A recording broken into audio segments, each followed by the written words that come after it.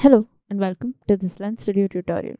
In this video, you're going to learn how you can make this Christmas lens in Lens Studio. All of the resources that I'm using in order to make this lens right here are down in the description below. And yeah, let's create.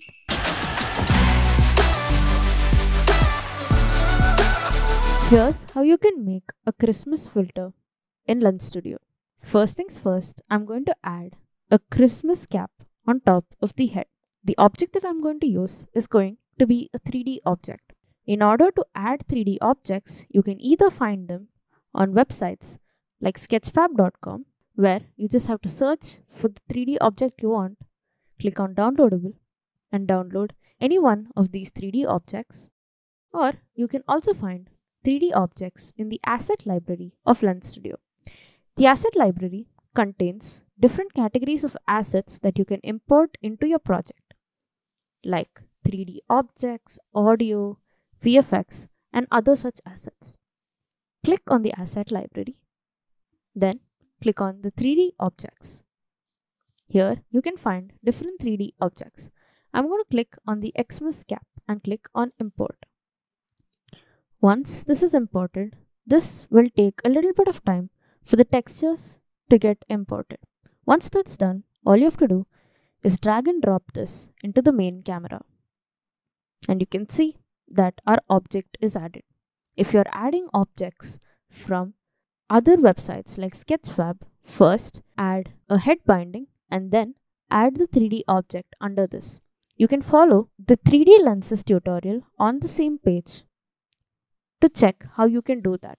A link of it will be in the I button right on top. Once this is done, you can see that our Christmas cap is added. Next, I'm going to add a snow effect to this lens.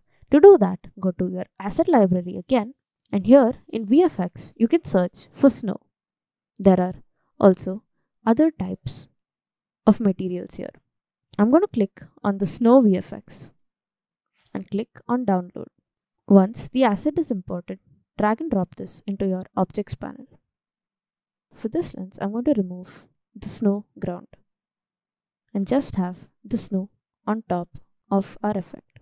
You can also change the VFX options here. Next, I'm going to add a sign here that says Merry Christmas. To do this, go to your objects panel, add new object and search for screen image. You can add any screen image here. I have a couple of these Christmas assets with me. I'll add a link to download these down below. I'm going to drag and drop this into my resources panel. Next, I'm going to add this texture into the texture of the screen image. Then I'm going to change the size and add this down here. You can also add things like face retouch in order to make the face look better. And yeah, this was how you can make Christmas lenses in Lens Studio. If you like the tutorial, click here to find more such tutorials. You can also subscribe to me and press that bell icon to never miss another tutorial.